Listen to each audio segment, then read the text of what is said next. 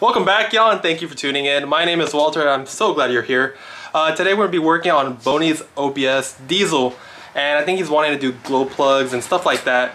So I also think he wants to do a battery connector. So I think we're going to be doing that. So let's get started on that right now.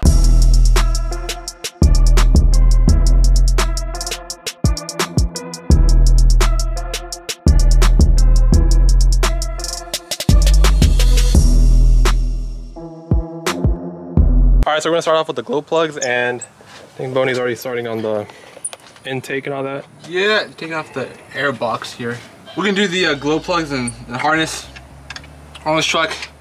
We haven't done them and it's it, it has it's having a hard time starting up. So we're gonna switch out all the little like boots or whatever and actual glow plugs. Alright, so this IDI has one of the biggest turbos known to man. Look at that thing. It's huge. Beast, look at it. Look at that. No gap any LS out there. Pretty sure I can hold it in my palm. Look at that. Looking like a JDM turbo. Boney's a JDM boy. Partially. Alright, so now we're gonna yank out the glow plug harness. That one's easy. That one's hard. That one's easy. There's one more back there. I can't reach. I'm gonna go ahead and spoil it. There is one more back there. Alright, so yeah, this is why we're doing this. Look at that. This is holding the harness to the glow plug. A little bit of electrical tape. It's not what you want to see on IDI.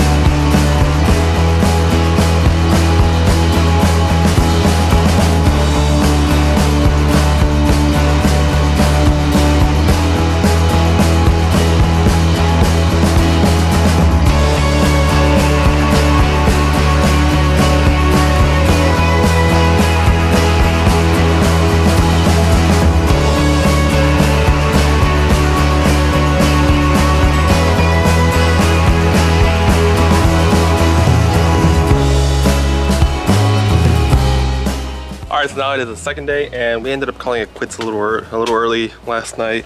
Uh, it got dark pretty quickly with this whole time change, but uh, this is where we're at. We need to remove the turbo right now and to access all the glow plugs down there. And while we're at it, we're actually be changing out the uh, valve cover gasket because they are leaking, I think on this side. All right, so here's our dilemma. Initially, we're thinking we needed to take off some release these bolts off the turbo. So now I'm looking at the manual and it's saying a different thing. Like it's making it look like way easier than how we're trying to approach this. All right, so let me show you what I'm talking about. So right here I have the service manual and it's showing that to remove the turbo I need to go underneath and separate some crossover pipes, I think that's what it is. Yeah, and there's like left and right. So I think you re release that part from the bottom and then from the top you just kind of pull the turbo out with the pipe and all. But yeah, we're trying to approach it with some uh, think like the downpipe connector, but it's looking like it might have to be approached from the very bottom. It's good news for us. Let me go try that out right now. All right, so I'm underneath the truck, and these are the two bolts I want to show you. That one right there, and the one on the other side of it.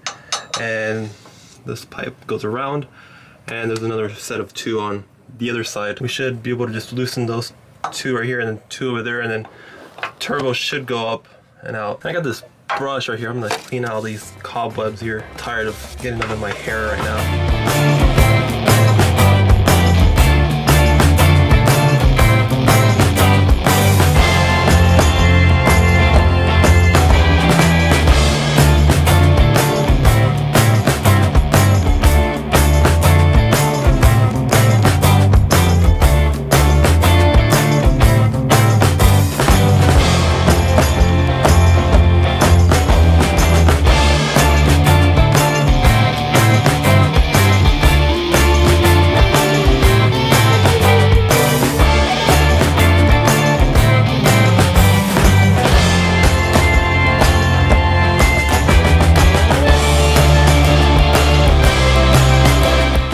So we just took out the crossover pipe, as you can see here. We actually took off a stud off of the uh, passenger side manifold. These bolts are just so rusted and so seized on there. It's taking forever.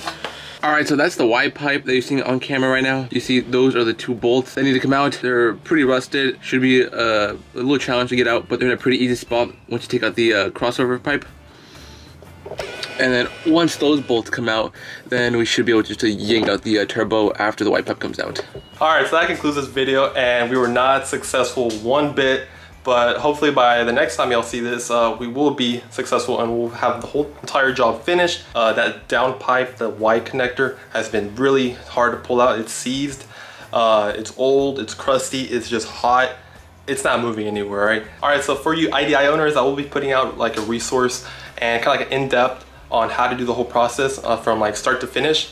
And it'll be more instructional because like I know there aren't many things out there like resources or even like pictures out there on how to do this. So I'll be putting that out in a few days. So look forward to that if you're an IDI owner. So if you want to see more videos just like this one, uh, please subscribe to our channel. We put out two videos a week, one on Monday and then one again on Thursday. Uh, so look forward to that.